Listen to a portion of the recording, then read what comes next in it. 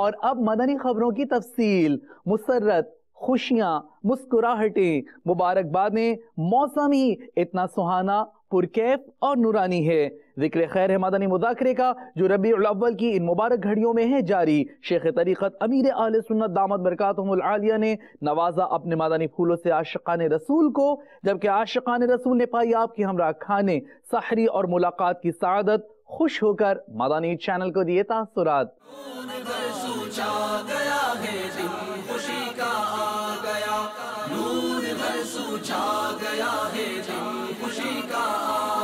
آقا کی آمد مرحبا سرکار کی آمد مرحبا مکی کی آمد مرحبا مدنی کی آمد، مرحبا مرحبا یا مصطفیٰ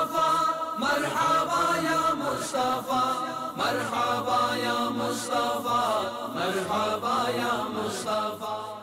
کسی کا مال چوری ہو جائے یا آگ لگ جائے اس کا یہ کہنا کہ مجھے میری کسی خطا کی وجہ سے اللہ تعالیٰ نے برباد کر دیا۔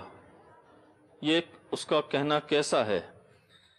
تو خطا کی وجہ سے مصیبتیں تو آتی ہیں۔ اللہ تعالیٰ کی طرف سے سزائیں بھی ملتی ہیں دنیا میں۔ تو اس کا یہی مطلب یہ جملہ تو کوئی جو کفر وغیرہ نہیں ہے۔ ہاں اگر معاذ اللہ اللہ تعالیٰ سے پر اعتراض مراد ہو، اعتراض کر رہا ہو کہ اللہ تعالیٰ نے مجھے برباد کیوں کر دیا، تو کفر کی مطلب ترکیب ہوگی کہ اگر وہ واقعی اعتراض ہوگا، پھر تو اسلام سے خارج ہو جائے گا اور نکاح بھی ٹوٹ جائے گا۔ سب اعمال بھی برباد ہوں گے۔ لیکن جو سوال آپ نے کیا ہے، اتنی حد تک میں کوئی کفر نہیں ہے۔ واللہ تعالی اعلم۔ ورسولہ اعلم۔ عز و جل صلی اللہ تعالی علیہ وآلہ وسلم۔ آج مجھے بھی مذاکرے میں شرکت کی سعادت نصیب ہوئی ہے۔ بڑا مطمئن ہوا اور مجھے خوشی ہوئی بڑی انفارمیشن ملی۔ ہم یہاں مدنی مذاکرے کے لیے آئے ہیں۔ یہاں پہ بہت علم دین حاصل ہوتا ہے۔ عالمی مدنی مرکز فیضان مدینہ میں ہمیں آنے سے بہت کچھ علم عطا ہوا ہے۔ میں یو کے والوں اور یورپین ممالک میں جو بھی ہمارے مسلمان مدنی بھائی رہتے ہیں ان کے لیے یہ پیغام دینا چاہتا ہوں کہ پہلی مرتبہ میں اس ماحول میں آیا ہوں اور دیکھ کر مجھے انتہائی اتنا سپرائز ہوا ہوں میں کہ میں بتا نہیں سکتا۔ الحمدللہ اس مدنی مذاکرے میں نے ہم نے بہت کچھ سیکھا اور ایسے ایسے سوالات سیکھے جن کا ہمیں پتہ بھی نہیں تھا۔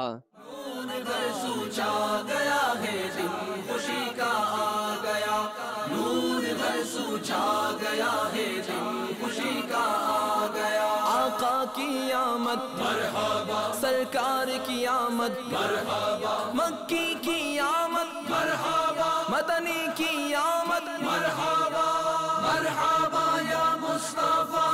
مرحبا یا مصطفیٰ۔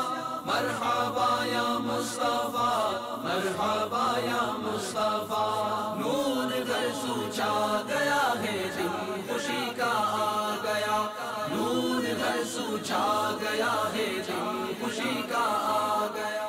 وانا اسالک فی حضرتک یا سیدی یا فضیلت الشیخ۔ بین طریقہ استخدام الزیتی بوفق سنہ فرما رہے ہیں کہ حضور نبی کریم صلی اللہ تعالیٰ علیہ وآلہ وسلم تیل کس طرح لگایا کرتے تھے؟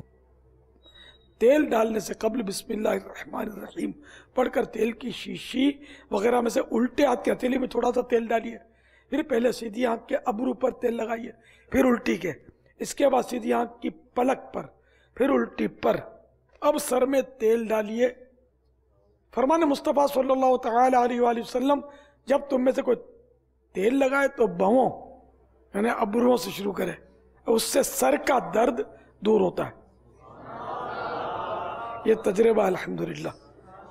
سر کا درد ہو، تیل لگائیں تو میں نے فائدہ اس کا دیکھا ہے، الحمدللہ۔ اور داڑھی کو تیل لگائیں تو نچلے ہونٹ اور ٹھوڑی کے درمیان یہ حصہ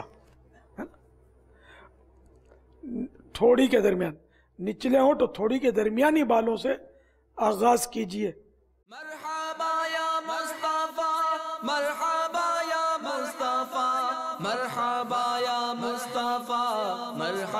یا مصطفیٰ. مرحبا یا مصطفیٰ.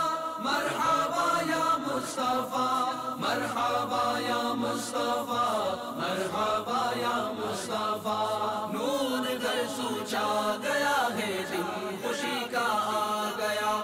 نور ہر سو چھا گیا ہے دن خوشی کا آ گیا. آئے پیارے مصطفیٰ اہلا و سہلا مرحبا.